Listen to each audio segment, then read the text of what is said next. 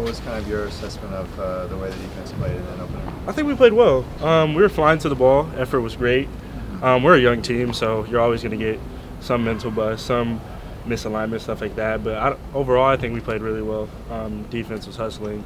Back end was doing their thing. We were hustling to the ball. Defensive line did well. Of course, Rick Wade with the strip sack and all that. But overall, I think the defense played really well. How about you personally? Uh, I think for my first game, I wasn't too nervous. That was the biggest thing for me. It was like, don't go out there thinking it's more than what it is. Just th- come out there thinking it's another practice. Personally, I think I did my job. Just was sound in my assignments. Uh, hustled to the ball really well. Um, ended off the game with nine or so tackles, which was good for me. Um, I thought I performed really well.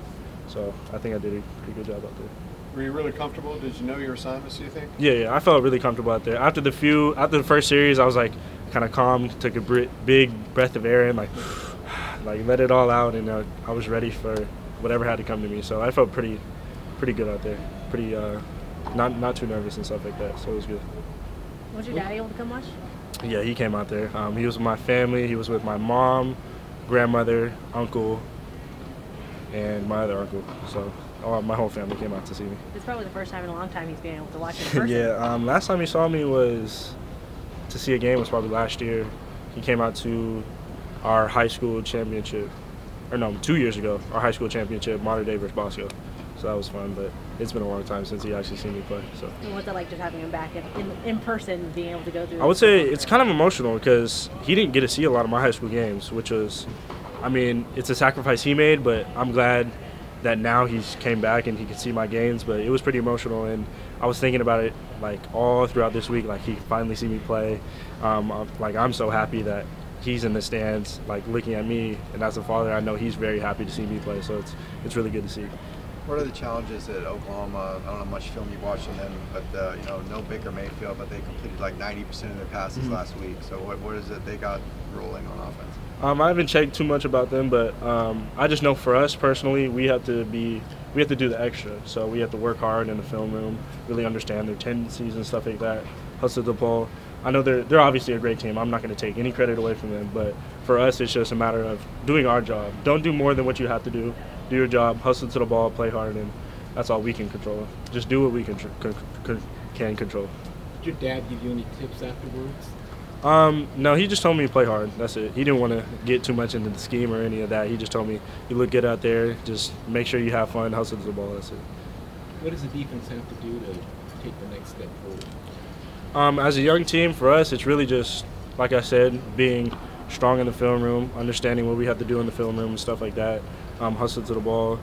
And like I said, tendency is a big thing, what they do on third down, first down, stuff like that. So really for us is just get heavy into the film study. What can we do? How can we get an advantage mentally rather than physically? In the Cincinnati game, it seemed like you came up against the run a little bit more even than Darius. Is that Mhm. by design? Is that just how it came out, play by play? That's really just how it came out. Um, situations where by, by play call, I was just down there. It wasn't a matter of me being down there on purpose. It just happened to be that way. What have you heard about playing in Oklahoma?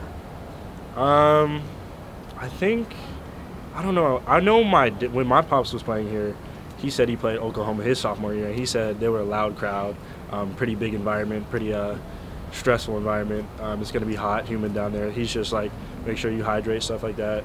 Uh, physically, mentally, just silence the crowd. That's the biggest thing. Just be prepared for anything. Watch the tricky stuff like that. So just really be mentally focused and phy- physically strong out there. To have a challenge like that this early in the season, how how are you guys feeling about that as a young team? I think it's going to be exciting. It should really be interesting how the young guys adapt and what they like, how they prepare for this game. If that makes sense. So, how are they going to take on the challenge? So, we'll see a lot of the young guys either rise up to the occasion, which I think they will do. It should be fun for them because this is some of their first time traveling, which is that's another whole thing that you got to go through is the traveling process. But I think it should be good to see how these guys adapt to the situation. For me personally, I'm just going to take it game by game, practice by practice, and just I think it should be fun for us. How did you think that uh, game went for the line? You know what? Um, I think first of all, Cincinnati they came out and they played a good game. You know, uh, up front we need to we need to correct some things. I think it's a it's a starting point for sure, but uh, just a lot of lot of room for, to grow. You know what I'm saying? So we're just going to continue to do that and just uh, you know continue to build on what we did good and uh, fix what we uh, didn't do so good on. So, What needs to be corrected? you know, I think there's lots of things, but uh, I think most importantly, uh, I think just the cohesion we need to work better on. And I think maybe the tempo as well. But there's lots of things to correct. So we're just going to continue to do that. What do you guys think you did well? Uh, like I said, I think uh, for coming out and you know being, you know, never really playing a game together, you know, just me and Mike returning. I think uh, we made some good calls, but you know, there's a lot of stuff to fix on. You know, we're going to continue to do that. So, How'd Chris do at center? you know, I think he did good. You know, for a freshman to come in and play like that, uh, it's it's fast, and so uh, there's a lot of moving parts to it, and I think he did a good job for the most part. So. Was it as fast as you thought it'd be? Uh, you know, there's a lot of things slowing it down. Like you know, we don't have the refs and stuff. You know, like we do in practice.